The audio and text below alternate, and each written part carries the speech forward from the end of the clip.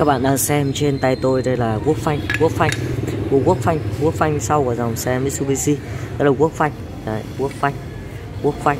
À, còn phanh sau còn anh em của quốc phanh bởi nó tròn tròn như này lắp vào nó sẽ đè vào cái chống phanh quốc phanh sau của dòng xe Mitsubishi.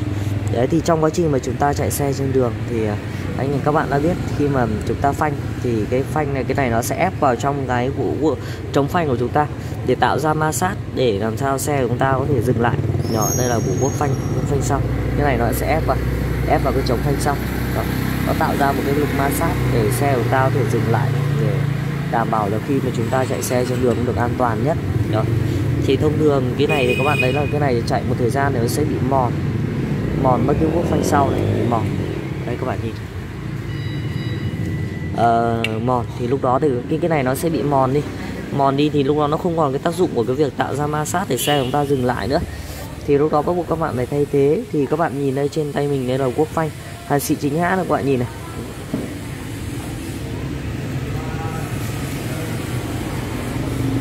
Các bạn có thể nhìn đây các cái điểm này các cái chữ này rất là sắc nét và rõ ràng.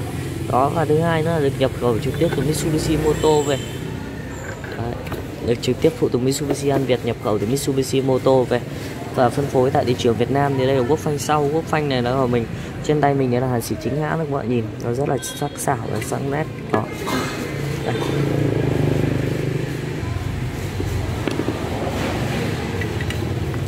còn cái hàng mà nó cũng trong hàng gỗ phanh này thì nó hiện tại nó có cả hàng thay thế. Thì cái độ dày nó không được dày và cái chất lượng các bạn chủ yếu là cái chất lượng này, này. Cái chất lượng của cái cái cái cái này. Đấy nó tạo ra thứ nhất là nó không tránh nó chúng ta sẽ bị mòn cái nếu mà cái này nó không tốt thì thực ra là đi thì lắp lên nó sẽ bị mòn cái trống phanh. Và sau một thời gian thì dẫn đến chúng ta sẽ phải thay cả cái trống phanh nữa là điều thứ nhất. Và thứ hai nữa là uh, nó sẽ uh, cái, cái cái cái này nó sẽ nhanh mòn hơn. Cái cái cái cái cái cái này nó sẽ nhanh mòn hơn chạy nó sẽ nhanh mòn hơn.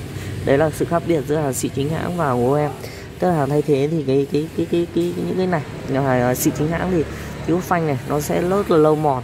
Còn cái hàng thay thế của chúng ta nó sẽ mòn đi rất là nhanh và khi một bộ quốc phanh này tại phụ tùng Mitsubishi An Việt bán thì nó bao gồm cả ừ, hai bánh. Đấy đủ hai bánh, đây một bánh và đây một bánh. Mỗi bánh nó sẽ hai bánh sau. Đấy, đây là một bộ luôn, bộ quốc phanh sau.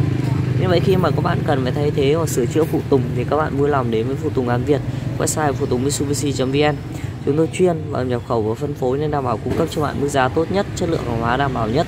Làm sao chúng ta có xe vận hành tốt, lưu thông tốt và chạy tốt trên đường chi phí mà các bạn phải bảo trì và sửa chữa phụ tùng nó không quá đắt đỏ.